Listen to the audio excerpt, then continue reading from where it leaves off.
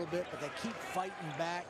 They know the importance of this game, but that's something that's instilled with the coach. And uh, he's got great character guys. It took him a couple years to get the kind of guys he wanted in his program, and he's got them now.